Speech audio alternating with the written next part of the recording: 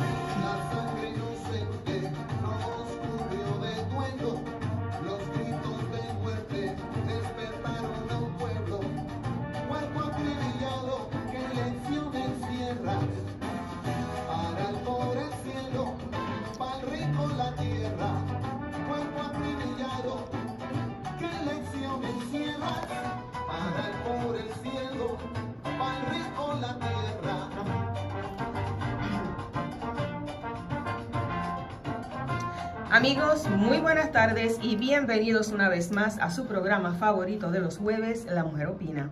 Un saludo cariñoso y cordial de esta que les habla su amiga Silvia Castillo. En la dirección técnica contamos con el señor Víctor Valle. Eh, amigos, como siempre les digo, búsquenos en las redes sociales, especialmente en Facebook. Nos va a encontrar rapidito. Es La Mujer Opina en WPRA 990 AM. Eh, tiene una rosa roja de perfil.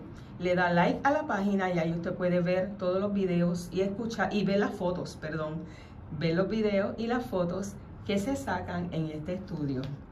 En la tarde de hoy contamos con una visita exquisita de una persona que aunque no nació en Mayagüez, ama este pueblo más que si hubiese nacido aquí. Es escritor, es poeta y fundó la Sociedad Protectora del Patrimonio Mayagüezano para preservar nuestra historia mayagüezana.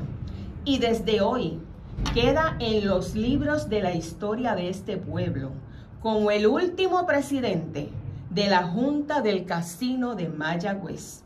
Le damos la más cordial bienvenida al profesor del Colegio de Mayagüez, recinto de la Universidad de Puerto Rico, doctor Alfredo Morales Nieves. Bienvenido a La Mujer Opina en WPRA 990. Buenas tardes. Buenas tardes, muchas gracias por esa presentación tan bonita. Me, me, siento muy contento y orgulloso de estar aquí. Te pregunté al principio cuando llegué el nombre del programa eh, porque siempre, no sé, mi cabeza tenía que era un programa de mujeres, para serte franco. Y me ahora con la presentación que hiciste, yo no nací en Mayagüez, pero mi abuela que nació en Las Marías y mi mamá en Añasco, que eran puras mayagüezanas, como tanta gente que sus vidas eh, transitan por esta ciudad y mueren en esta ciudad, como fue el caso de mi mamá. Eh, pues siempre yo hablaba, cuando estaba haciendo el doctorado en California, se hablaba mucho de lo que es la voz, la voz de la mujer. Estoy hablando de los 80. Sí, y yo siempre dije que mi primera voz fue la de mi abuela, precisamente. Puro campo, todo lo que yo escuchaba de mi abuela. Después la de mi mamá, que ahí están los poemas dedicados a Mayagüez, que ahí el gran amor que siento por la ciudad. Y entonces la mía, que viene más adelante, nació de eso. Hoy se cierra un capítulo en la historia de Mayagüez, del patrimonio mayagüezano, de la historia de Mayagüez. Hoy se entregaron las llaves del antiguo casino de Mayagüez en, de la sede del edificio Igartúa, más bien, o sea, se entregaron las llaves del edificio del antiguo casino de Mayagüez. Era el lugar más antiguo de todo Puerto Rico, incluso más antiguo que el Instituto de Cultura Puertorriqueña. Doctor Morales, ¿cuál es su estado de ánimo el día de hoy? Mi estado de ánimo. eh, ¿Puedo aclarar algo antes? Claro que sí. Eh, 90 años en ese edificio. Sí, señor. Después voy a hablar de mi estado de ánimo. Eh, pero no soy el último presidente del casino porque la Junta existe, la entidad está. Soy el último presidente en ese edificio. En ese edificio. Y, este, y entonces ahora te voy a hablar de cómo me siento. Eh, me siento abrumado, y me siento abrumado porque creo que es la mejor palabra que recoge la, la cantidad de emociones que tengo, ¿no? Una es por haber tenido que ser yo el que ha confrontado el desahucio desde el año pasado, que sobre todo fue en medio de tres operaciones que tuve en agosto, cuando se me insistía que tenía que estar presencial y en medio de pandemia en un hospital no puedo estar, así que desde ahí empezó eh, la angustia de tener que defender el patrimonio del país en medio de un desahucio que empezó desde ese entonces. Para que entonces cuando se entregasen las llaves, ya oficialmente, que se entregaron hoy en el tribunal al alguacil de Mayagüez, son las llaves del edificio Igartúa, como bien señalaste, pues te digo abrumado por la responsabilidad que tengo, ¿no? Porque le pudo haber tocado a cualquier otro, u otra que tengo la esperanza que pronto haya una presidenta, ¿no? Que nunca lo ha habido. Y por otro lado, eh, ver a una serie de ciudadanos eh, que nunca fueron socios del casino eh, trabajar arduamente para guardar y salvar ese patrimonio. Y cuando hablo del patrimonio del casino, es todo aquello que le pertenece a la entidad de su fundación. Quiero decir, desde el primer libro donde tomaron actas y notas, que los tenemos, ¿no? El cuadro, los cuadros de los presidentes fundadores, que eso incluye a José de Diego, Riera Palmer. Eh, y entonces en ese sentido abrumado, ¿no? Por la responsabilidad que, aunque es histórica, porque todo es historia, ¿verdad? Los historiadores pueden mencionar eso mejor que yo, pero es cumplir un rol, cumplir una función y no estar solo por el, apoyo que vuelvo y repito de personas, algunos de los cuales nunca pisaron el casino, por, múltiples razones. Y sin embargo tienen conciencia de lo que está ocurriendo. Sí, señor.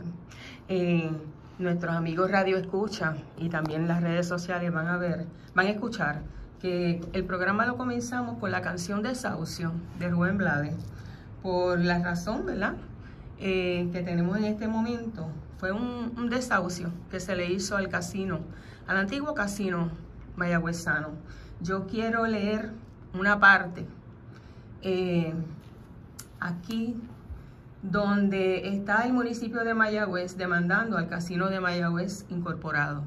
Si me lo permiten, dice así, por tanto, no existiendo razón alguna para postergar el desahucio, se ordena al alguacil del tribunal a que diligencie esta orden, procediendo a lanzar a Casino de Mayagüez Incorporado y, de ser necesario, mediante la utilización de la fuerza, ya sea romper candados, cadenas y o cerraduras que impidan el paso a la propiedad y haga entrega material de la misma al municipio de Mayagüez o a su alcalde y o cualquier representante autorizado del municipio por cuanto a usted, alguacil del tribunal, por la presente se le requiere y ordena que diligencia esta orden inmediatamente, procediendo a lanzar a Casino de Mayagüez Incorporado. O sea, es como lanzar a la calle. Prosigo. Y yo, me perdonan un segundo, que es que lo tengo aquí. Estoy utilizando otro teléfono. Y yo, ocupantes de la propiedad objeto de este caso.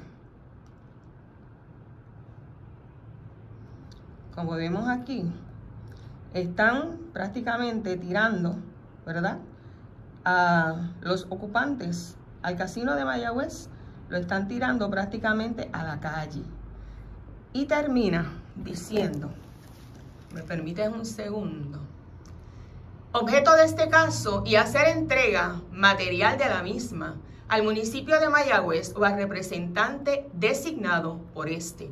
Por tanto, usted, alguacil del Tribunal de Primera Instancia, Sala de Mayagüez, proceda a cumplir con la orden antes transcrita y luego de lo cual deberá usted devolver el original de este mandamiento con la debida constancia de las diligencias practicadas por usted en su cumplimiento.